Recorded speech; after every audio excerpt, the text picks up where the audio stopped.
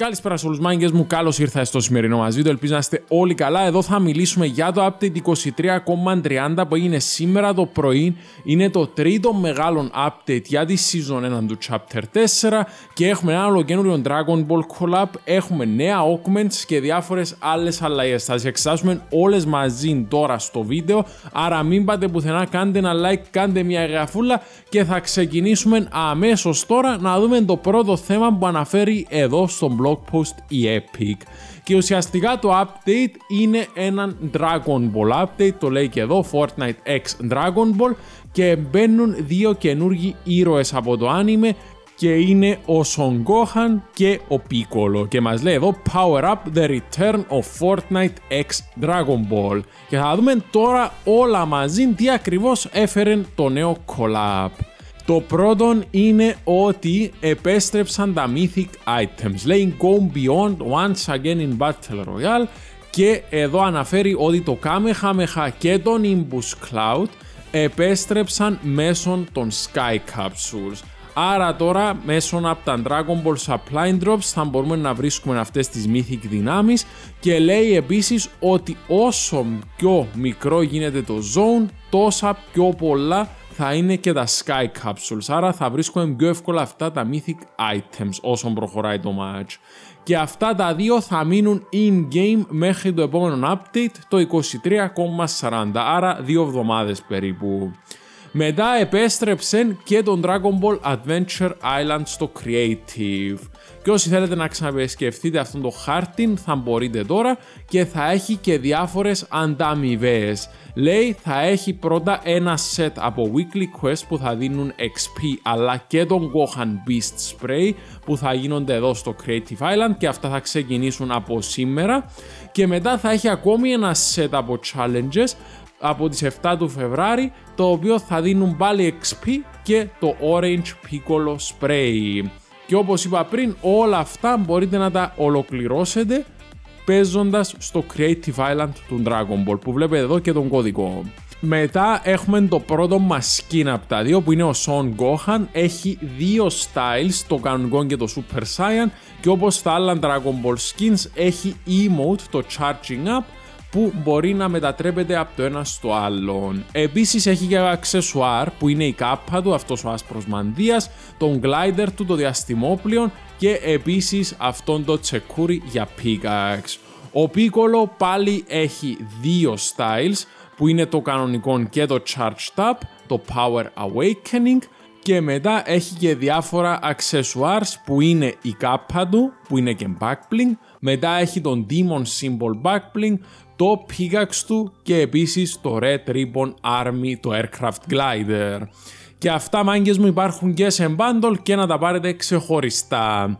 Επίσης κάτι ενδιαφέρον που αναφέρει εδώ είναι ότι πολύ σύντομα θα επιστρέψουν και τα υπόλοιπα Dragon Ball πράγματα. Άρα όσοι χάσατε το πρώτο collab που έγινε θα έχετε τώρα την ευκαιρία να ξαναγοράσετε όλα τα items μαζί. Και πιστεύω αξίζει γιατί είπαμε τον Dragon Ball είναι από τα πιο γνωστά και θρηλυκά anime και είναι και πασίγνωστο στην Ελλάδα και Κύπρο, άρα πιστεύω αξίζει να έχουμε αυτά τα skins και εννοείται αν τα πάρετε μην μου ξεχάσετε support the creator MT1993 κάτω παύλα 96 στο shop όπως σας δείχνω θα τα πάρω και εγώ εννοείται Άρα μάγκες μου μην το ξεχάσετε, θα το εκτιμούσα full να βάλετε πρώτα κωδικό και εννοείται ευχαριστώ για όσους το χρησιμοποιούν εδώ και τόσο καιρό. Μετά έχουμε παραπάνω πληροφορίες για νέα reality augments και έβαλαν 5 καινούρια σε αυτόν το update και το πρώτο είναι το Rejector Seat το οποίο λέει όποτε σπάει ασπίδα σου θα παθαίνεις rift, δηλαδή θα ενεργοποιείται ένα rift που θα σε παίρνει στον ουρανό και μετά θα μπορεί να ξαναεργοποιηθεί όταν σπάσει ασπίδα σου αφού περάσει κάποιο χρονικό διάστημα. Μετά έχουμε το Shadow Striker που λέει ότι μπορείς να βρεις shadow bombs από διάφορα containers στο χάρτη δηλαδή. Έχουμε το icy slide που λέει ότι θα σου βάζει αυτόν τον πάγο στα πόδια και έχεις έτσι ένα speed boost για λίγο χρόνο μετά από το slide σου. Έχουμε το harvester που λέει foliage you destroy will drop big bush bombs and forageables. Δηλαδή αν καταστρέφετε φυτά στο χάρτη θα παίρνετε grenades, αυτές με το θάμνον και διάφορα foraged items. Επίσης αυξάνει το πόσο σε χυλάρουν τα foraged items και τέλος έχουμε το mythic munition το οποίο σου δίνει ένα mythic pistol αν τον ενεργοποιήσεις. Πολύ ενδιαφέρον το τελευταίο. Και αυτά μάγκες μου είναι τα reality augments που μπήκαν με το σημερινό update. Μετά έχουμε μια πολύ σημαντική αλλαγή στα weekly quests και επιτέλους η Epic Games παρόλο που άργησε πάρα πολύ πηγαίνει μισή season, άκουσε τον κόσμο και πλέον τα weekly quests θα είναι όπως παλιά. Δηλαδή θα πηγαίνουν για πάντα, δεν θα πρέπει να γίνονται εντός μιας εβδομάδας θα πηγαίνουν μέχρι το τέλος της season ή μέχρι να τα ολοκληρώσετε. Μετά έχουμε και miscellaneous updates εδώ και το πρώτο είναι ότι οι ανέμοι θα είναι disabled κατά τη διάρκεια του update Άρα από ό,τι φαίνεται οι χιονισμένες περιοχές που είχαν αυτούς τους ήχους ανέμων και αυτά τα effects δεν θα τα έχουν πλέον και μετά το forecast reality augment has been adjusted to only show the next three storm circles. Άρα άλλαξαν λίγο το πώς δουλεύει το forecast reality perk. Δεν θα σου δείχνει τόσα πολλά zones όπως πριν, μόνο τρία. Κάτι για το competitive εδώ, το Kamehameha και το Nimbus Cloud δεν θα είναι μέσα στο arena ή στα τουρνουά. Το Rejector Seat δεν είναι στα τουρνουά και στα competitive playlists και μας λέει επίσης το FNCS Major 1 ξεκινάει 2 του Φεβράρι. Και μετά έχουμε και πάρα πολλά μικρά bug fixes θα δούμε μόνο τα σημαντικά που το πρώτο είναι ότι τον Guardian Shield τώρα κάνει block και τον Deku Smash Ability, το Mythic από το My Hero Academia. Και μιας και το λέει εδώ, για πρώτη φορά έχουμε και τα Dragon Ball Mythics και τα My Hero Academia ταυτόχρονα στο game. Μετά ξαναενεργοποίησαν το Party Time Augment που έδινε τα μπαλόνια, έφτιαξαν κάποια προβλήματα με το movement, άτομα που είχαν τον Battle Pass και δεν τους έδωσαν ακόμη τον Backblink του Ageless One θα το πάρουν τώρα. Επίσης έφτιαξαν και πάρα πολλά προβλήματα που είχαμε με τα skins. Αν θυμάστε κάποια skins είχαν προβλήματα με τα textures τους μετά το προηγούμενο update. Τώρα μπορείτε να κάνετε πάλι emote μετά από μια νίκη.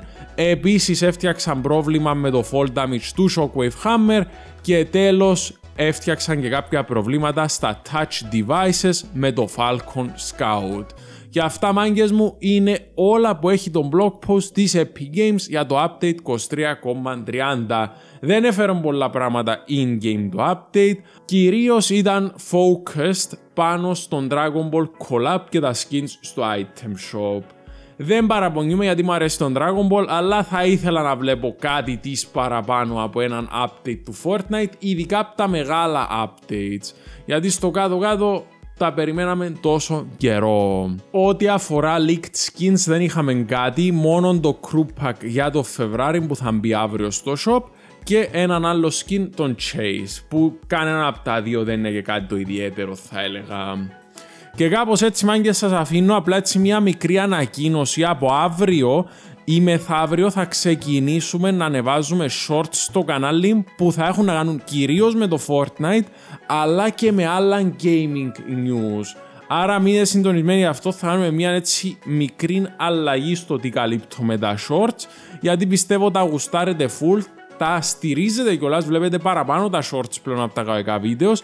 Άρα θα ασχοληθώ και εγώ παραπάνω μαζί τους και όπως είπαμε, Fortnite κυρίως, αλλά και άλλα gaming και tech news που σας αφορούν, αλλά και ενδιαφέρουν πιστεύω πάρα πολύ. Άρα το νου σας στις ειδοποιήσεις από αύριο το αργότερο μεθαύριο. Λοιπόν, κάπως έτσι σας αφήνω. Μην ξεχάσετε κάνετε ένα like, μια δυνατή εγγραφούλα και να μου ρίξετε και το support creator MT1993 κάτω παύλα 96 στο shop. Θα το εκτιμούσα πάρα πολύ. Βοηθάτε εντελώς δωρεάν με τις αγορές σας και ειδικά τώρα με τα Dragon Ball items.